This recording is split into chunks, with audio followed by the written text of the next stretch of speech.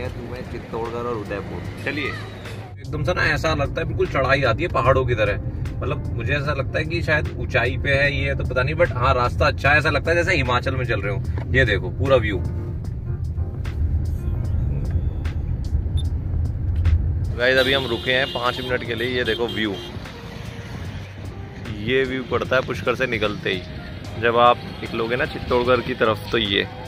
ये देखो यार, क्या मज़ेदार व्यू है।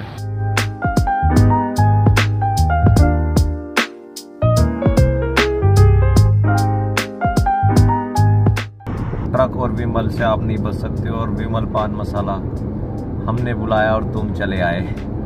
बोलो जुबा केसरी। मतलब आपको दो चीज़ बिल्कुल कॉमन मिलेगी यहाँ पे, जिसको आपको देखते ही रहोगे राजस्थान में। एक तो विमल का बोर्ड और ये हाईवे पे इतने भारी भारी ट्रक गाइज़ अभी हमें, हम आ चुके हैं बिल्कुल चित्तौड़गढ़ और फोर्ट हमारे सामने ही है और हम फोर्ट की तरफ़ ही बढ़ रहे हैं और हमें यहाँ पहुँचने में लगे हैं पूरे के पूरे चार घंटे। और डिस्टेंस हमने ट्रैवल किया है 216 किलोमीटर। और अभी भी चार पाँच किलोमीटर बचा हुआ है मतलब टोटल 220 है। और आप कितना भी रेस्ट ड्राइव कर लोगे, तीन घंटे से ज़्यादा ही लगेंगे। भाई, ये देख रहे हो मतलब ये पीछे स्कूटी पर लग गए हैं और हम बिल्कुल एंट्री किए हैं। अभी से ही ये लग गए हैं। गाइड और मतलब ये आपको कह रहे हैं कि भाई जल्दी ले लो जल्दी ले लो।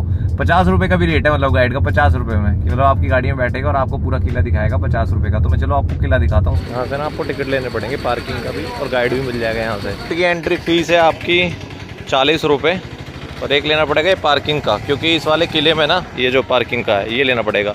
इसके लगे पैंतीस रुपये अपनी वाली गाड़ी के। भाई हमने अब ये गाइड हायर करे हैं ये घुमाने के लिए। क्या नाम है भाई तुम्हारा? जी मेरा नाम करण माली है। करण माली। यहाँ पे हमने हायर किया है इनको। दिखाने के लिए बताते हैं कि कैसा दिखाते हैं फिर इनका रिव्यू भी देंगे कि यहाँ गाइड हायर करना चाहिए कि नहीं चाहिए। और भाई घुमाने वाले एरिया में। तो लेके चलते हैं। कहाँ जाना है भाई पहले? अपने को विजय स्तंभ चलना है। अभी विजय स्तंभ जाएँगे और विजय स्तंभ दिखाते हैं आपको कैसा है क्या है। कहाँ कहाँ जाने वाले हैं भाई बताना जरा। हम विजय स्तंभ जाएँगे हम्म। जहाँ पे आपको चार चार चीज़ें देखने को मिलेगा। सबसे पहले विजय स्तंभ टावर मिलेगा उसके हम्म। पास में ज़ोर स्थल। फिर उसके पास में समाधीश्वर महादेव है हाँ। फिर एक गौमुख कुंड है। जोहर वाला वहाँ वही है। हाँ ज़ोर स्थल वही पे। ठीक है। और क्या भाई इसकी कुछ हिस्ट्री बताना कितना पुराना है क्या है? अभी जो आप किला विज़िट कर रहे हो ये आज से 1500 साल पहले यानी पांचवी सेंचुरी में चित्रांगदा मौर्य था। हाँ। मौर्य डायनेस्टी से जिसके द्वारा ये किला बनाया गया ये जो टावर देख रहे हैं हम्म। इसको विजय स्तंभ बोलते हैं। हम्म इसको महाराणा कुंभा के द्वारा बनाया गया था। महाराणा कुंभा ने मालवा और गुजरात दो राज्यों को एक साथ हराया था उसकी विजय की खुशी में इसे बनाया इसीलिए इसे विजय स्तंभ विक्ट्री टावर के नाम से जाना ये है भाई जोहर स्थल। यहाँ पे हुआ था जोहर जो तीन बार भाई बता रहा था ना यहीं पे वो जोहर हुआ था। ये पहले डीप गड्ढा था है ना तीस से चालीस फीट गहरा तो गड्ढा था। हम्म उसमें क्या लोग क्या करते थे कचरा वगैरह डालते तो अपमान माना जाता था। हम्म इसीलिए गवर्नमेंट ने जब आया ना आर्कोलॉजी डिपार्टमेंट के अंदर। तो इस पूरे गार्डन को भर दिया।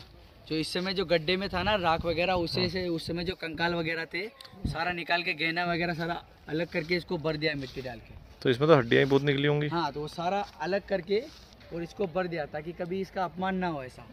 ये जो पूरा जगह है है। शमशान का जगह है। अच्छा। ये जो एरिया है ना पूरा शमशान का जगह है। इसके दो द्वार है सामने गेट है। ये भी सारा?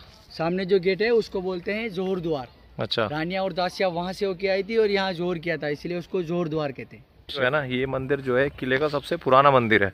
और क्या? सबसे फ़ेमस सबसे सुंदर मंदिर है। जैसे अपन हाँ। छोटे बच्चे को काला टीका लगाता है हाँ। ताकि किसी की नज़र ना लगे इतना सुंदर मंदिर है इसके ऊपर ब्लैक स्टोन लगा है। काला पत्थर लगा है नज़र से बचाने के लिए। अच्छा। ना इलेवन सेंचुरी में एमपी के राजा भोज के द्वारा बनाया गया था।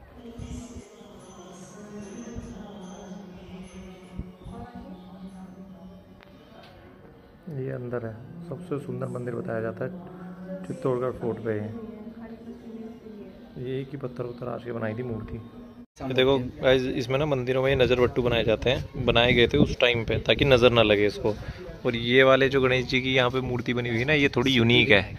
इसलिए यूनिक है क्योंकि यहाँ पे जो सूंड है ना वो राइट साइड जा रही है। वरना हमेशा 90 परसेंट जो है वो लेफ़्ट साइड रहती है। राव की मूर्ति बनाई हुई है और उस टाइम ज्वेलरी जैसी पहनती थी ना रानियाँ उसके डिज़ाइन है ये। ये देवियाँ हैं यहाँ पे।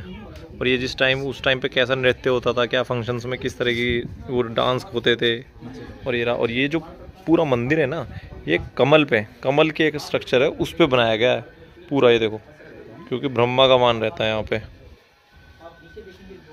और ये कुछ ऐसा लुक आता है, अगर आप इस मंदिर के बराबर से देखो ना, इतना अच्छा लुक ये देखो।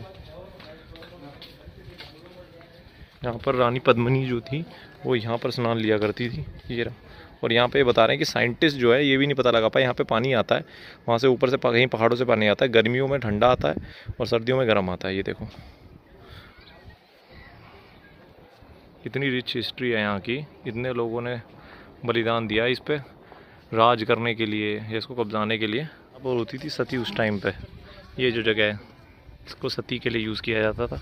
जितने भी ये डैमेज पार्ट है ना, ये सारे शिव मंदिर हैं जो सबसे ज़्यादा खिलजी ने डैमेज किए थे। मतलब जितने भी मंदिर थे ना, वो सब डैमेज कर दिए थे उन्होंने। और उसका रीज़न ये था कि वो, उन्हें पता था कि हिंदू जो है ना, खंडित मूर्ति या खंडित जो मंदिर होते थे, उनकी पूजा नहीं करते थे। तो मतलब सारे मंदिर खंडित कर दिए गए उन्होंने, ताकि यहाँ पर पूजा ना हो। भाई, अभी हम आपको दिखाने वाले हैं, गोमुख कुंड दिखाएँगे। और यहाँ पर जो रानी पद्मिनी थी ना, वो यहाँ पे आती थी उनकी टनल थी। मतलब महल से ये दूसरा छोर है।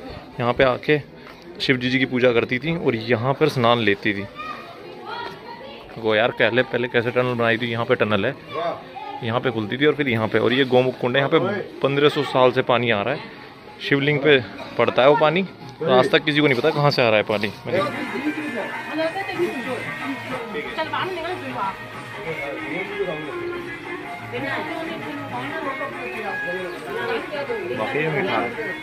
एकदम। देख रहे गुफा बंद है। इस गुफा से आती थी रानी पद्मिनी। शिव जी की पूजा करने। भाई साहब। उस टाइम में क्या क्या बनाया हुआ था यार? और ये उनकी एक प्रतिमा बनाई हुई है। जो है ना ये किले का बैक साइड है। अभी ये फ्रंट साइड बना दिया पहले बैक साइड हुआ करता था।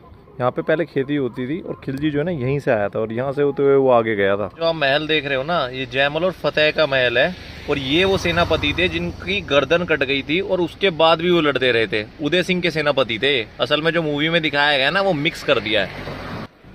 महल ये उनका महल है। ये है रानी पद्मिनी का महल और ये चार महीने के लिए यूज़ होता था, इसको कहते हैं समर पैलेस भी, क्योंकि यहाँ पे ये पानी से चारों तरफ़ गिरा हुआ है तो ठंडा रहता था। तो चार महीने के लिए राजा रानी यहाँ पे रहते थे। और एक और चीज़ बताएँगे कि जो परछाई वाली बात है, वो कहाँ से है? अभी नीचे जाके दिखाते हैं। भाई ये है रानी पद्मिनी का महल और ये है वो जगह जहाँ पर शीशे लगे रहते थे। अब एक जो बात है, वो ये है कि इन्होंने बताया कि तेरह सदी में जो है ना, शीशे ही नहीं बने थे। और मूवी में दिखाया है कि शीशे में खिलजी को यहाँ से दिखाया था। शीशे का आविष्कार बता रहे हैं कि पंद्रह सदी में हुआ है। और यहाँ से ऐसे बता रहे हैं कि यहाँ से देखो परछाई पड़ी थी उनकी और यहाँ जो शीशा था, उसमें दिखे थे। तो ये है वो सीन जो दिखाया जाता ना मूवी में, ये वाला। और शीशा तोड़ दिया कर दी सेना वालों ने। ये जो गैली है ना, यहाँ से रानी आया करती थी और ये जो प्लेटफॉर्म बन रखे हैं ये यहाँ पे यहाँ पे दासियाँ खड़ी होती थी और फूल बरसाती थी उनके ऊपर जब वो अपना ड्रेस व्रेस पहन के यहाँ से जाती थी।